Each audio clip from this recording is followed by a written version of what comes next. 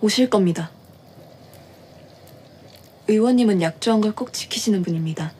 그리고 그만큼 실력도 출중하신 분이고요. 혹시 그분 그 사람 좋아한대요? 응? 좋아하면 그렇지 않나? 그 사람이 나만 봐줬으면 좋겠고 내만 몰라주면 좀 야속하고 기대하는 마음이 생기니까 자꾸 섭섭해지는 거죠. 이거 드시고 가세요. 종일 전화를 지키셔야 되는데 빈속은 안 좋으니까. 고맙소.